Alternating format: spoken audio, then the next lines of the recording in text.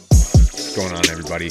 This is the Fight Dialogue. My name is Tim. This is a list that I put together of the guards that I believe uh, do the best in MMA. And just as a disclaimer, I'm not a professional fighter or anything like that, but I have been studying Jiu Jitsu since 2010, and a lot of my opinions are based off of observations that I've taken from that. So there's actually a lot of different types of guards out there if you know anything about jiu-jitsu, but there's really only a few guards that are suitable for MMA. Some of the guards on this list I'm sure you've probably seen, some you may have not. So with that being said, let's break down the criteria for what a good guard is for MMA. So the most successful guards are the ones that are very versatile. It has to be a combination of good defense and offense in order to do well.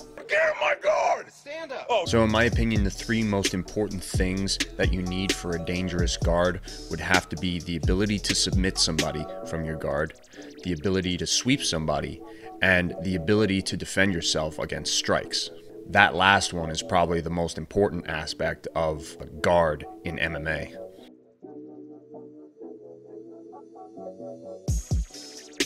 So let's take a look at the first guard on the list, which is the closed guard. If you've ever watched an MMA fight that's gone to the ground, you've probably seen this guard before. It's as old school jiu-jitsu as it gets. Kron Gracie and the Diaz brothers are the ones that are probably the most famous for using it in MMA. All three of those guys have a similar style. They've been known for being able to win fights from their guard. In a straight up jiu-jitsu match, uh, the closed guard is considered to be almost an advantageous position depending on who's using it.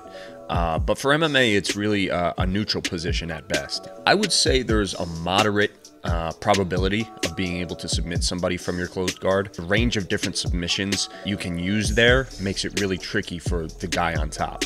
There's also a moderate amount of sweeps that you can use from the closed guard as well.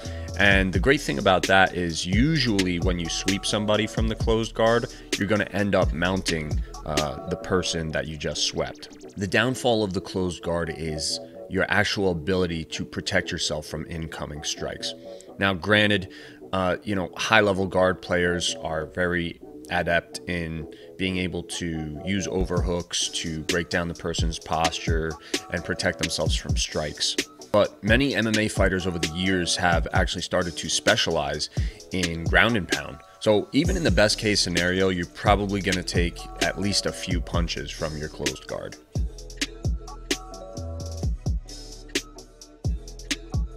All right, next up, we got the 50 50 guard, and this is as new school as it gets as far as jiu jitsu goes in the world of MMA. It was made famous by the Ultimate Fighter winner, Ryan Hall, uh, and it's definitely the most bizarre type of guard on this list that I have here. So, to the untrained eye, 50 50 guard may just look like a guy falling back for a leg lock. And that's essentially what it is, except there's a few subtle differences in the leg positioning. For the true 50 50 guard, you need to have your legs locked in a figure four around one of the opponent's legs. From there, you'll have the ability to attack with leg locks and ankle locks. It's perhaps one of the most complicated guards out there, uh, so it's going to take a real technician to utilize it. Therefore, the only people that are going to really shoot for this 50 50 guard are people that specialize in it. At the moment, there's not a lot of MMA fighters out there that even know how to counter it. And the number of high level leg lockers transitioning from the submission grappling world to MMA is quickly growing. So basically, what this means is if you see somebody initiate the 50 50 guard in an MMA fight, there is an extremely high probability that a submission will follow. The fight finishing potential for this position is just too much to ignore. Unfortunately, that is the only real advantage that this guard has over the rest of the guards on my list. It's not that type of guard that you're to really use to sweep people.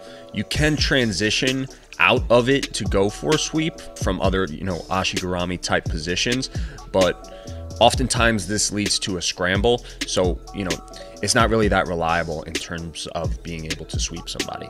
And as the name 50 50 guard implies, if both fighters figure for their legs, each person essentially has a form of guard at the same time.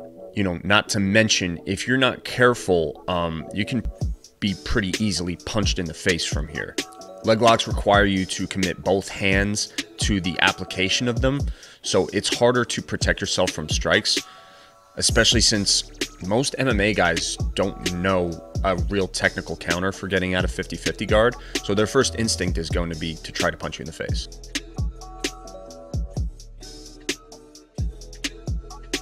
So here we have the rubber guard.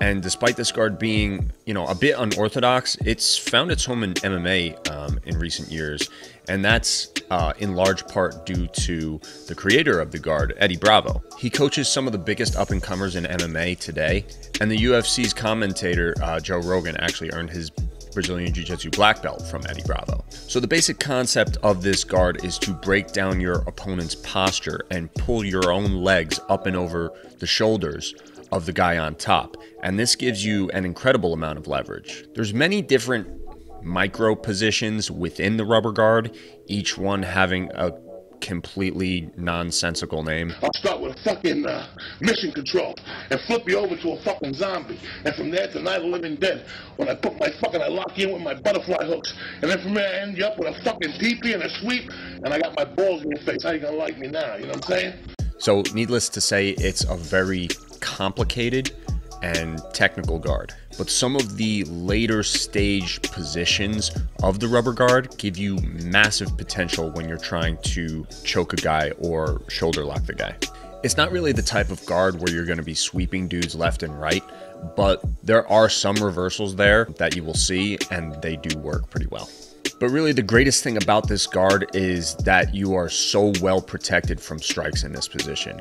The person on top will not be able to get enough distance to land anything significant on you unless they escape your legs.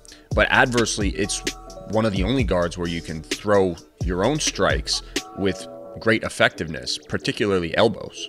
The thing that kind of sucks about rubber guard is you do have to be flexible to some degree in order to apply it. Granted, there's angles that you can switch to and shift to in order to make it easier on your knees and hips. But nevertheless, the guys I've seen have the most success with rubber guard are the most limber and flexible guys. All right, so we also got the butterfly guard, and this is a type of open guard where instead of you having your legs wrapped around the person's waist, you actually have your legs underneath them and they're used to elevate and reverse the person on top. It's also used to create distance and to quickly stand up to your feet. It's for this reason that it's gotten a ton of praise from MMA fighters, even from fighters who aren't necessarily grapplers because they will learn this guard as a means to escape from a grappling exchange entirely. There's probably nobody with a better butterfly guard than Marcelo Garcia. As you can see here, as he uses it to absolutely embarrass some of the best grapplers in MMA. As I mentioned, it's very much a guard used to off balance people, so it has an extremely high potential for sweeps, even if you only have one butterfly hook in. There's not a ton of submissions from the butterfly guard, but if you are good with guillotines and kimuras, uh, you do have those options there. The bad thing about butterfly guard, I would say, is if you're not constantly, actively, and aggressively off balancing the person, um, it's pretty easy for them to pass your guard. And if they flatten you out on your back, you can be hit there with strikes just as easily as you can from like a closed guard.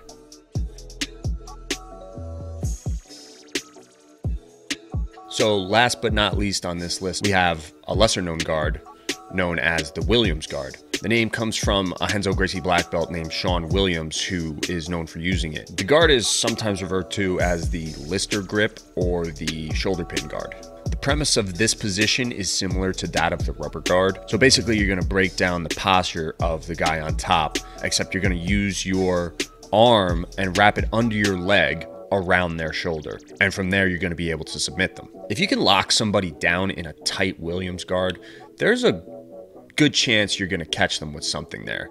There's potential for arm bars, triangles, omoplatas, very high submission potential. There isn't a lot of sweeps from the Williams guard per se, but it is essentially a closed guard. So at any time, you can kind of just transition back to a more traditional closed guard and go for a traditional sweep. So just like in the rubber guard, the person on top is going to have some real trouble trying to punch you from there. So you can be a bit more relaxed and meticulous when you're setting up your submissions from there. I would even go so far as to say that the Williams guard has a slight advantage over the rubber guard because you don't really have to be flexible at all in order to apply it. It's as simple as grabbing behind your own leg.